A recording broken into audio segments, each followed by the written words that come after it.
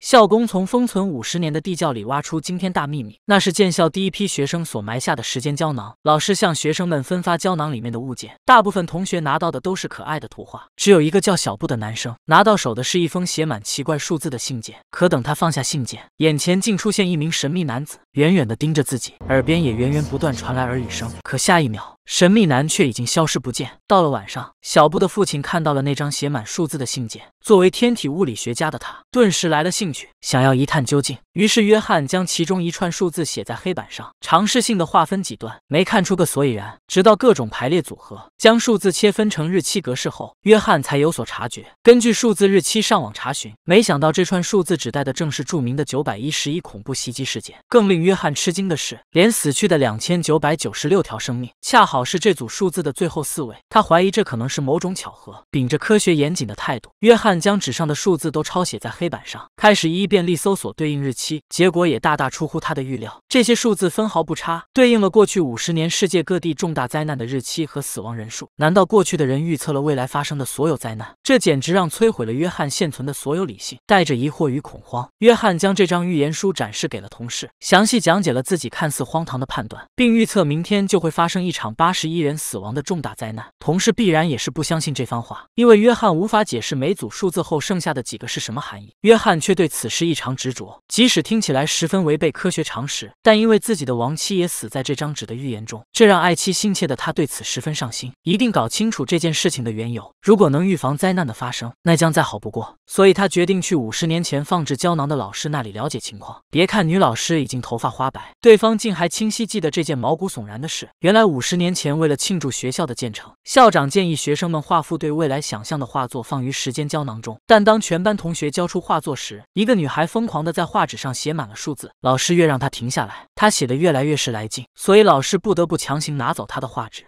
出乎意料的是，女孩下课后莫名失踪了。全校老师和警卫到处寻找，最后老师在衣橱里找到了女孩。但眼前的场景让他大吃一惊：女孩满手鲜血，他用手指把整张门都刻满了数字。五十年过去了，女孩去世了，约翰的线索也中断了，所以不得不先回家再想办法。看到时间一点一点流逝，第二天就要到了，他打开电视，紧张焦虑地翻看每个电台的新闻报道。如果预测成真，一起死亡人数高达八十一人的灾难很快就会发生。但他看了一眼晚上的新闻，发现世界。和平，顿时松了一口气。快到傍晚，他开车去接儿子放学，路上不知怎么得就下起了瓢泼大雨，还遇到了严重的交通堵塞。他不小心看了看屏幕上显示的经纬度，发现这串数字很熟悉，就拿出纸笔对了一下，结果多出来的数字和此时的经纬度一样。原来剩下的数字代表了灾难的发生地，恰好就是现在他所处的位置。这意味灾难即将发生在他身边。约翰决定下车核实。当他问交警是否发生事故时，对方惊恐的转身跑了。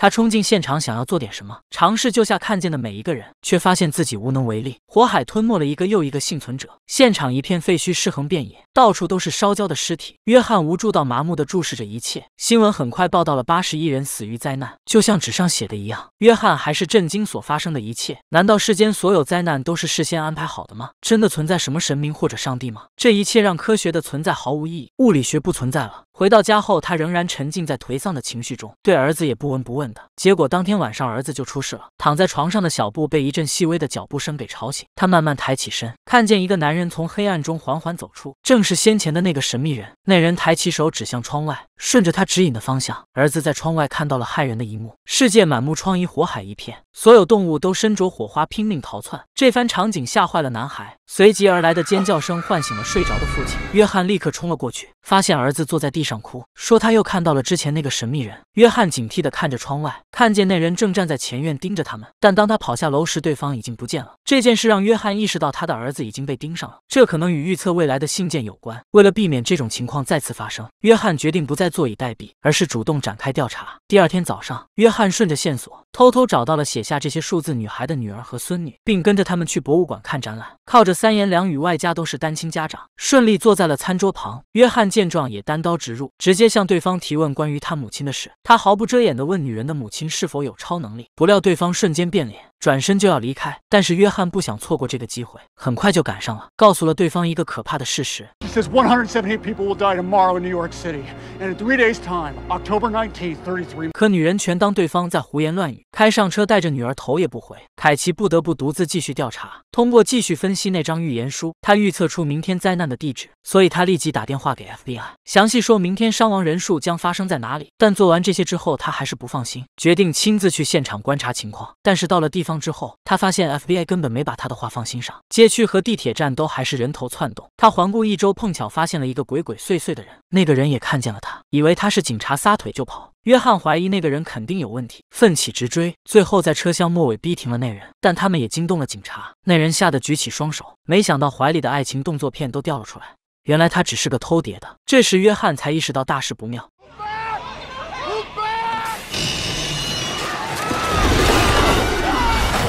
灾难还是如期而至了。得知此事后，女人也不得不开始相信约翰所说的话。她记得母亲一直预言女儿会在十月十九日那天死去，她还担心自己女儿会像母亲那样，所以她不得不带着去找约翰，并计划和他一起找到他母亲预言的秘密。来到母亲的老房子后，他们看到墙上覆盖着报纸，报道了过去五十年发生的重大灾难，只有一幅奇怪的画被混淆了。约翰直觉这幅画是关键线索，所以拿走了它。然而当他准备离开房间时，脚下似乎踩到了什么东西，捡起来一看，那是一块奇怪的黑色石头。约翰疑惑地拿着手电筒照了照，发现床边堆满了几块石头，好像有人故意留下了提示。于是他蹲下来，拿着手电筒照下床底，果然看见床板上写着什么字。经过仔细检查，他意识到上面写的是对未来的最终预测，一场导致全人类灭绝的灾难即将发生。与此同时，屋外的儿子本来在车里睡得好好的，却再次听到耳语声。他睁开眼睛，发现两个神秘人正在慢慢靠近，一边走一边说要带他们一起去。看到他们越走越近，儿子赶紧按响喇叭。约翰等人听到声音后，立刻冲了出来。神秘人也已经躲到旁边的庄稼地里了。为了搞清楚什么情况，约翰决定用枪追他们。可等追上男人，神秘人张开嘴，从里面射出一道强光，射得约翰睁不开眼睛。当他能看清时，对方已经消失了。到了第二天，约翰赶到同事的检测站，查出了太阳即将发出超级耀斑，届时人类将不复存在。他们唯一的方法只有等死。难道真的没有一点办法了吗？他突然想起那个女孩在衣橱门上刻字的事，也许那就是最后的希望。他赶紧开车到学校，二话没说就把衣橱门拆了带回家。他把门上的所有字都刮了出来，那竟是一组坐标，对应的位置就是女人母亲曾经住过的老房子。约翰认为这是他们应该去的地方，但女人只想赶紧带孩子找个洞来避难，所以没等约翰就把两个孩子都带走了。约翰反应过来后，急于打电话给女人解释，但对方当下没有丝毫理性去思考这串数字。正当女人下车准备加点油时，神秘人已经趁机开车把孩子带走了。女人发现后，当即她抢了别人的车开始狂追，结果闯了红灯，被一辆大卡车撞倒。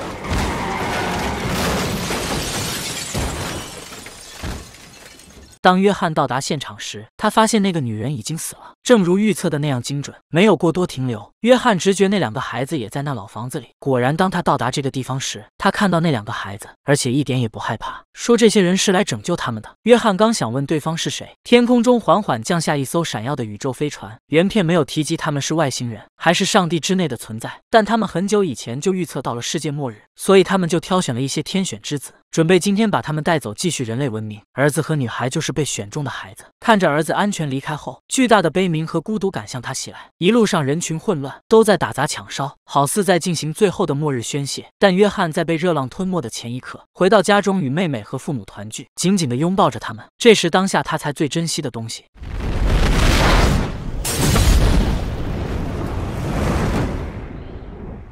而儿子和那个女儿前往了一个未知的星球，在那里，他们即将开启一个崭新的家园。